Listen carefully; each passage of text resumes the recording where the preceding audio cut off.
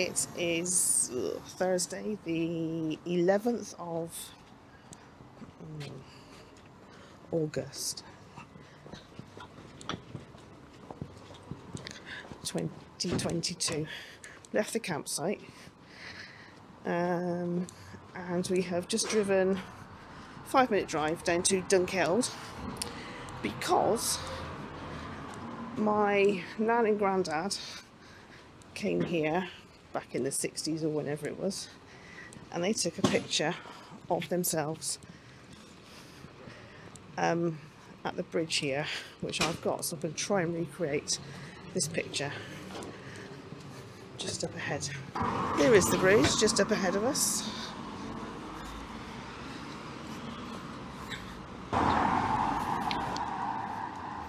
What's oh the River Tay, it's over the River Tay.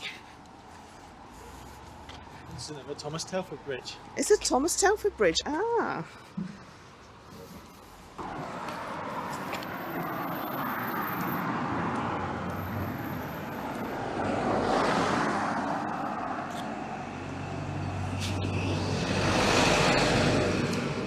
Right, they were standing somewhere here and the camera was looking this way at them so okay I think I managed to uh, recreate the vid the photo. I think I managed to match up some like bits of um, liching and things missing in the stonework. I think I've done it. We've done it anyway.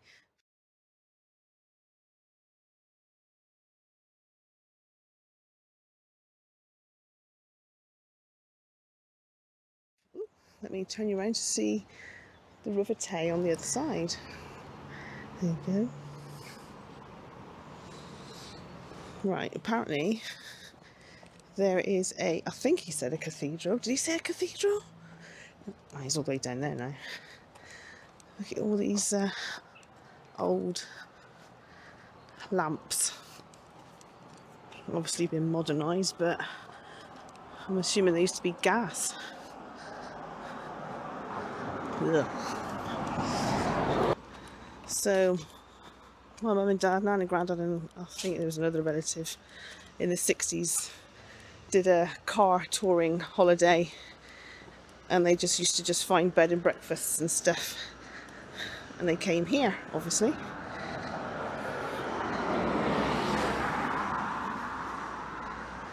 Oh, shame the cathedral's closed.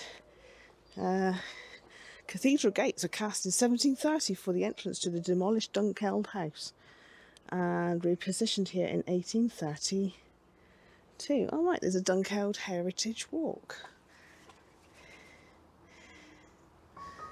Hmm. Shame. And there's like blue plaques all along here. The old rectory, originally a manse, and Dunkeld's oldest living house in there. Uh, number 23. Original Cathedral Dean's House survive, uh, survived in the 1689 Battle of Dunkeld. Uh, there's another one down here.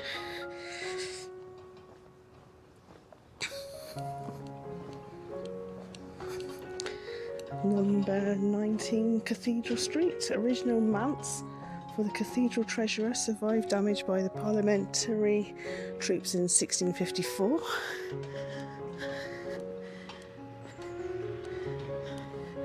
The buildings gained the Salt, Saltire Society Award for reconstruction in 1958.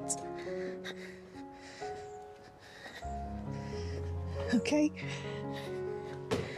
Uh, number nine, childhood home of Alexander Mackenzie, 1822 to 1892, the first Liberal Prime Minister of Canada, 1873 to 1880. another plaque there, didn't see that one. Water Wynd, that one says. Monks pulled their ferry boats up here from the River Tay.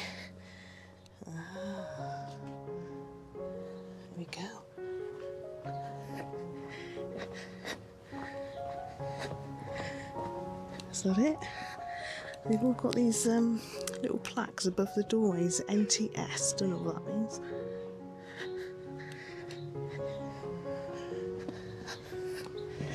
And then we got a big thingy.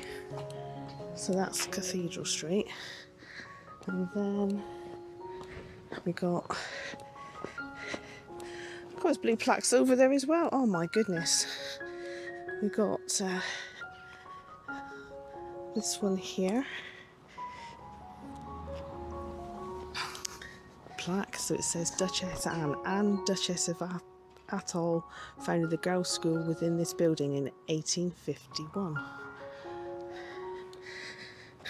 And this is 11 the Cross, one of 17 little houses in Dunkeld restored by the National Trust for Scotland in 1956 to 1965.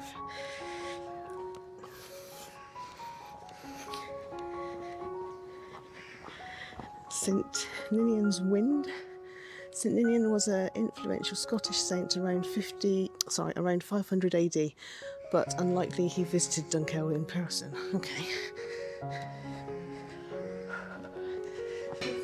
That's the pub, the Perth Arms, oldest trading pub, first opened in August 1795 by the local merchant John Proudfoot. There we go. Did I see another one? There's one Royal Dunkeld Hotel. And there is another blue plaque, but there's cars. The coming Royal hold on. Hotel, constructed in 1815, ballroom added in 1835. Visitors included Queen Victoria and exiled, exiled Maharaja of the Punjab. So there you go. Oh, Let's go. And we're parked here. Okay, we've come to Falkland Palace.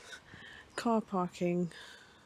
Well, cars are alright, but anything bigger is a bit rubbish.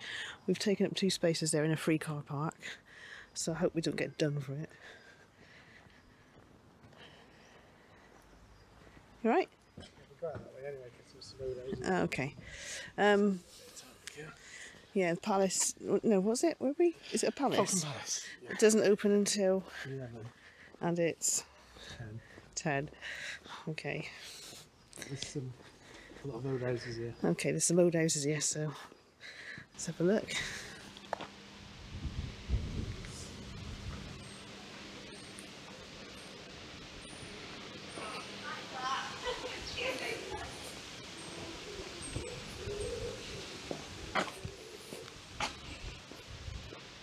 Cottage Craft Centre.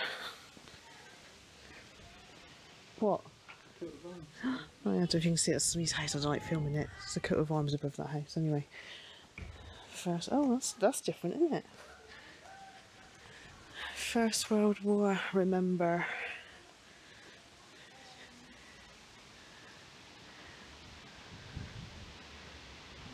Do you know what that means?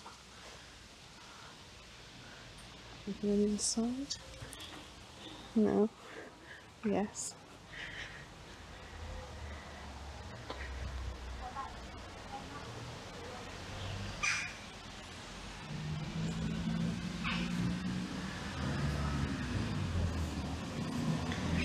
Thank you.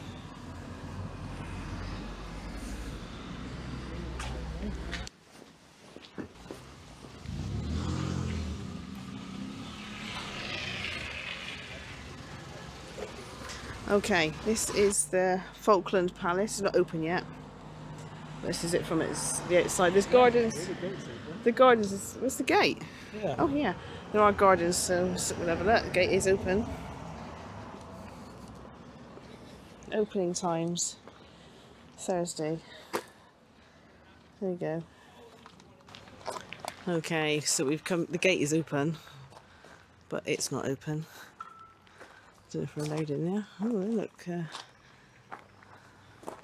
don't know if you can see those thingies.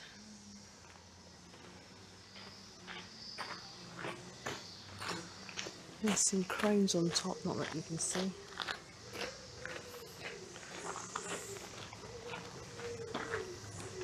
Okay, you're not allowed to film anywhere inside because it's still sort of privately owned and stuff like that. So I sort of got, I didn't get told off, but um, I couldn't do it. So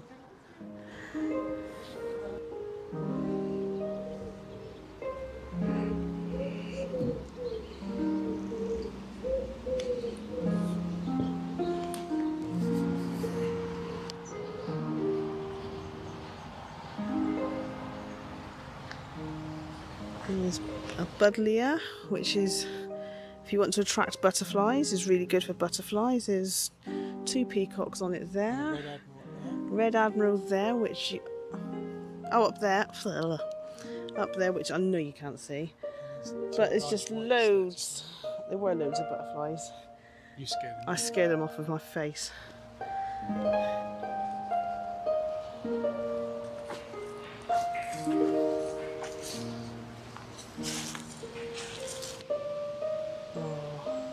We've just had a red squirrel dive across this path. Came out, looked because we were right there, came out, saw us, and then dived through that corner, and then dived out there. And Yeah, there's the bottom that tree. Oh, not that you can see. There is a tree somewhere there. Nah, he's gone up it. And he hasn't got his big camera handy. Yeah.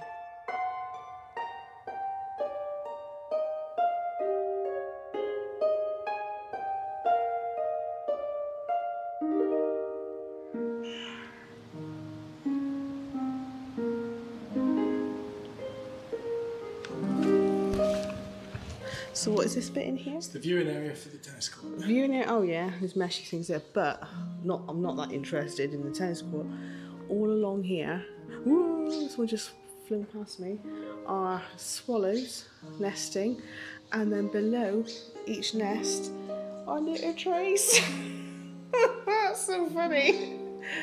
There's one up there feeding. Oh,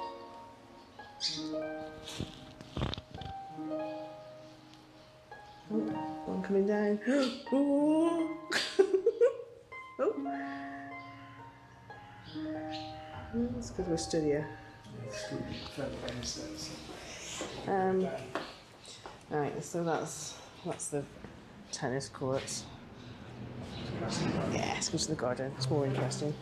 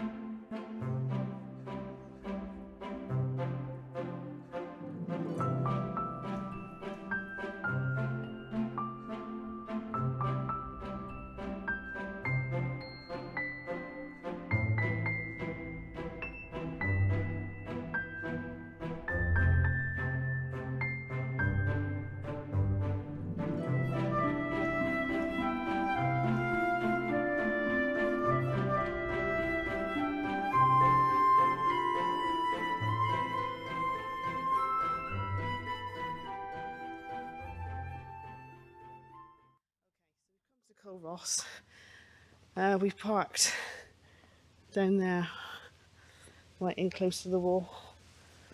It's very narrow roads further down. So we've come to, is it Culross Abbey? Doing the Abbey first, yes. Why, what else is there? The village. Ooh. We're doing the Abbey first and the village, apparently. The Abbey is up this hill. Okay. I think that's read a, um, little notice saying it was uh, closed, but it's not by the looks of it. Cole Ross Abbey.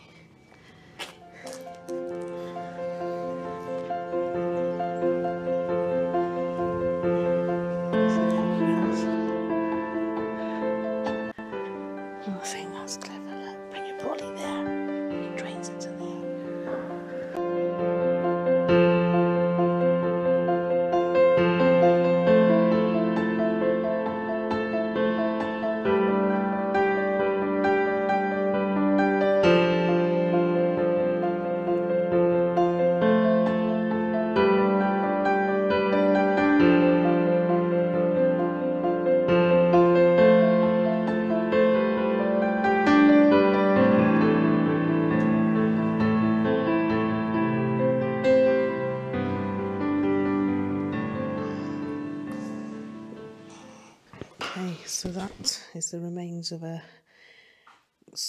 cross from the 8th or 9th century.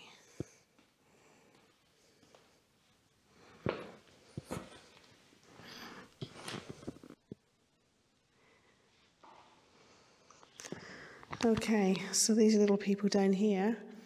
Um, so it's Sir, Sir George Bruce of Carnock, his lady, his three sons, and five daughters. In this tomb was provided by George Bruce of Carnock, his eldest son. Right.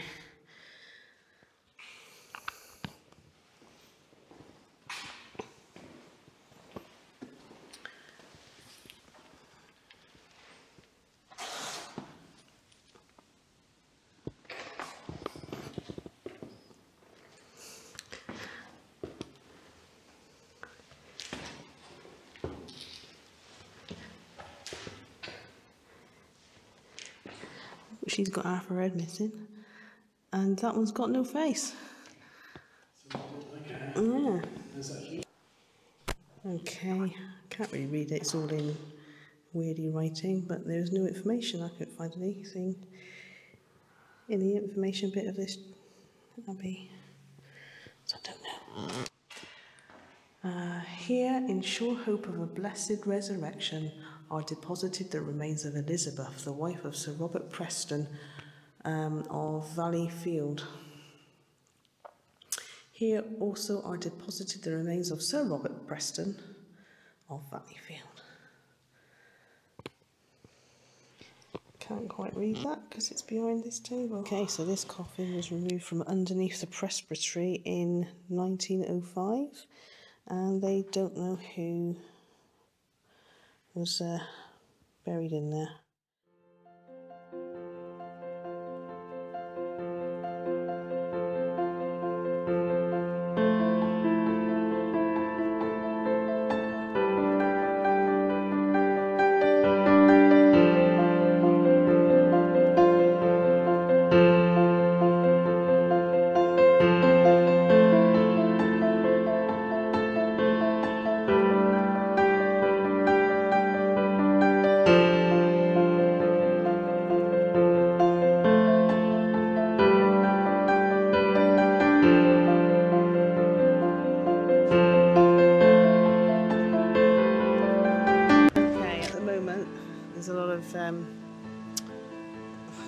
Scaffolding, but fences and stuff, so you can't actually come in the way we came. So we came in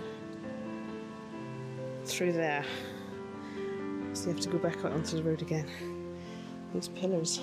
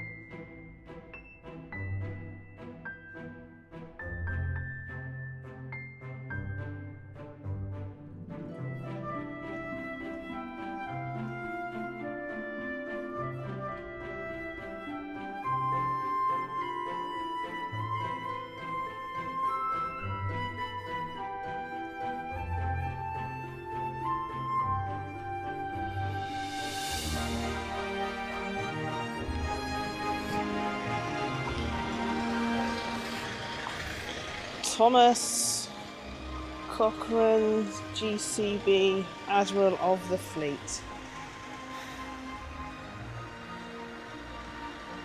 10th Earl of Dundonald. 1775 to 1860. Naval Commander, International Statesman, Radical and Inventor, I think that says.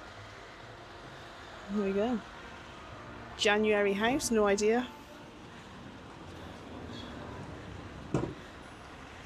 And lots of very old houses and buildings and stuff. Okay. Culross Palace and Gardens. So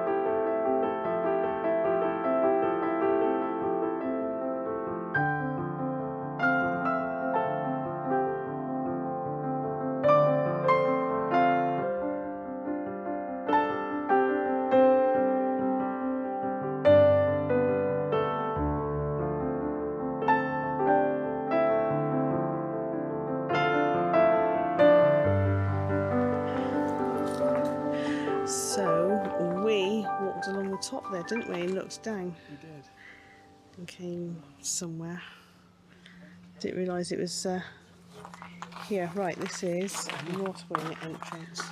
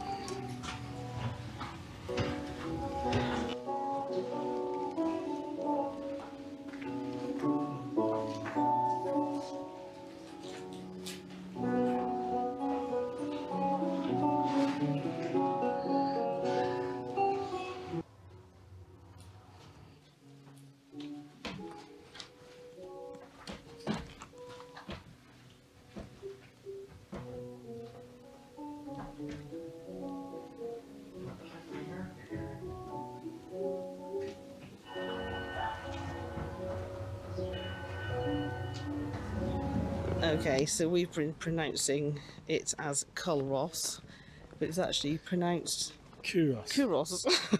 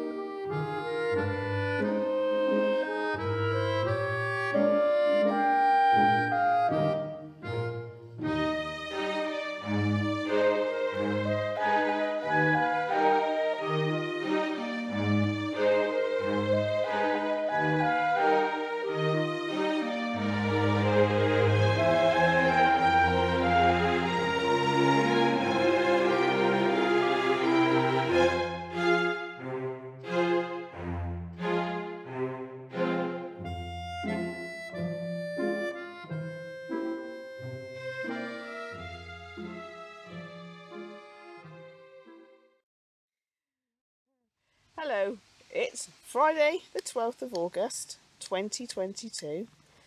Um, bit of a disastrous day, nothing to do with Colin, just we had planned because we're on the way home, sort of. Um, we had plans to call in at Stone in Staffordshire, where we used to um, pick up canal boats and go on holiday on canal boats. And it's a really nice little town. So we had planned to go there, but we hit traffic jam after traffic jam. Yes. Where was that from? That was basically from Preston all the way to Stoke-on-Trent. So we it and it's such a hot day as well. It's like we would have been arriving there at what two o'clock, Yeah. and it's like, well, that's that's gone then, hasn't it? So that's two years running now. We haven't called in at Stone. Yeah, it's supposed to have been a four-hour trip. It took us over six. Um, so yeah. anyway, um, yeah. So we have finished our Scotland holiday. Um, didn't get to Skye. We were going to go to Skye, but ooh, No. a couple buzzards up there. Um, but that was last weekend, wasn't it? Um, but Colin's brake pad things just messed all that up, didn't it? It did. We lost four days, really, didn't we? Yeah. So I don't know. It's always next year. always next year. Um, but we've had a really nice time, haven't we? Yes. Yeah. So we will be driving black, driving back to Plymouth tomorrow. Why are we driving back to Plymouth tomorrow, and not Sunday? I'd just like a day off on Sunday to relax before I go back to work on Monday. If that's okay. No, that's not the reason, is it? Well, I might be going to Argyle tomorrow afternoon. Flipping Argyle. You missed two games. No, it's just annoying. It's not. It is. Anyway, so we shall see you soon. Next weekend, possibly. Probably next weekend. But yeah, the last couple of days have been so hot. Uh, we passed a couple fires, didn't we? We We think did. um, grass fires and stuff. Big one yesterday. Yeah.